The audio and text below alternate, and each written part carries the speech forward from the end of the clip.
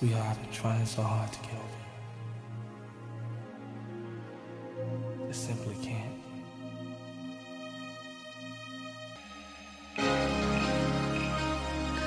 Come here, baby.